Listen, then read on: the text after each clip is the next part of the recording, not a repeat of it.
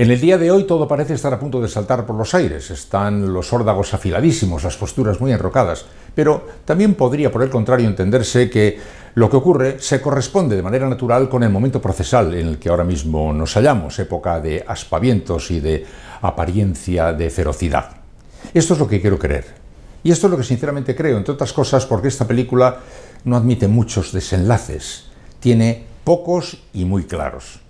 Es evidente que el Gobierno y Unidas Podemos se necesitan y que por tanto se encontrarán y hallarán la fórmula. Y no será un gobierno de coalición. Entre otras cosas porque no suman y porque además va a necesitar siempre Sánchez de buscar para completar esa mayoría alianzas en otras direcciones. Es por tanto seguro que se entenderán, pero es también seguro que no habrá un gobierno de coalición. Pero se inventarán las fórmulas, seguro que sí.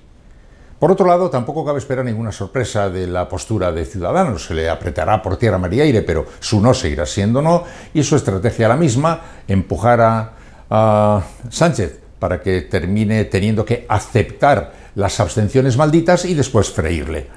Por tanto, eso es lo que parece normal. Mm, así las cosas, podríamos descartar entonces que este asunto no eh, termine cegando todas las vías y llevándonos a unas nuevas elecciones. Pues no, descartarlo yo no descartaría, ¿eh? nunca, entre otras cosas porque hemos visto en los últimos tiempos suficientes muestras de irresponsabilidad como para eso, como para no descartarlo. Y porque además, y algo que me parece importante, el factor humano, están en pista egos gigantes enfrentados. Está Pedro Sánchez, displicente, muy sobrado. Está Pablo Iglesias, arrogante, muy asustado, apurado. Y está Albert Rivera, pues el impaciente, muy acelerado. Y podríamos decir que tenemos carbón, azufre y nitrato de potasio, pólvora. Podría explotar. No creo que ocurra.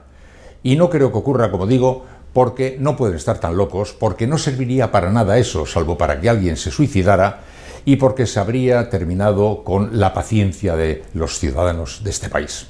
Tampoco creo que pase mayores el desencuentro muy rabioso entre Vox y el Partido Popular.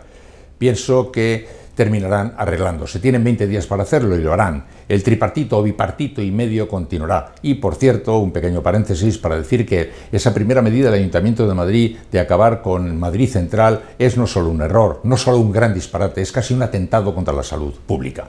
Y por lo que se refiere a la Comunidad de Madrid, si alguien acaricia esperanzas de que este desencuentro eh, pueda poner en peligro la presidencia de Díez Ayuso, que lo vaya olvidando porque el oasis fiscal madrileño del que alardea de forma tan impúdica la derecha, ese no se toca.